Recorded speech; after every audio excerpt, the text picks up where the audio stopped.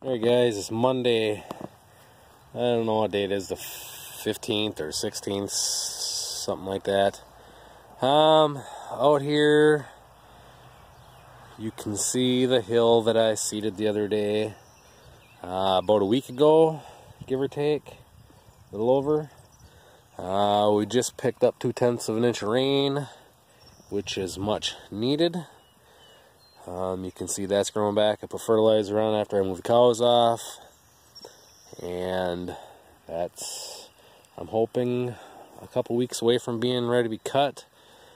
That over there I did not put fertilizer on. I'm hoping next week the weather is right. We're going to knock that all down and get a cut.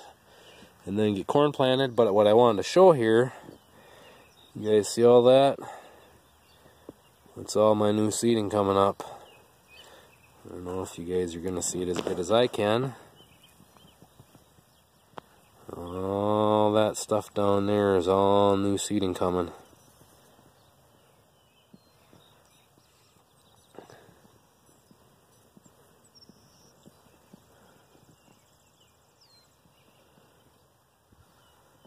And the hill, as you can see, is getting a pretty good green tint to it.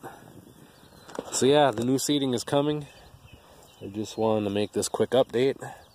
I came out to get something and I heard the fence snapping and there was a dead oh burdock or whatever that was stuck between the insulator and the T-post and after this rain it was shorting out. I could hear that all the way from the yard and it was on a T-post right up there. So I walked out there and kicked it off between snaps. Lucky I didn't get shocked by it, but I happen to notice here, you can really see it starting to pop up, so I wanted to uh, make a little quick update video here for everybody to see that the new seeding is popping out of the ground.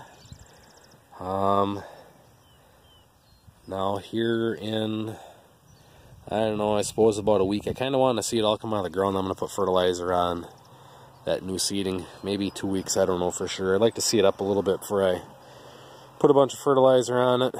Um, but anyways, it is it is coming out of the ground, so it's just a little quick update of what she's looking like. They're talking rain for the next three or four days, possible of up to four inches. So kind of curious to see what happens here next couple days. But next week looks like it should be a decent week for making hay. I don't think we're going to be able to make dry hay, but I think I'm going to line up a bale wrapper and we might just knock it all down. Um, this field in the winter rye over there and wrap it for baleage and then this field here we might let go a little bit longer because it's still kind of short and then we'll try and make the rest of it all dry hay. So anyways that's just a little quick update. The new seeding is coming out of the ground. So anyways thanks for watching guys and gals and I'll catch you on the next one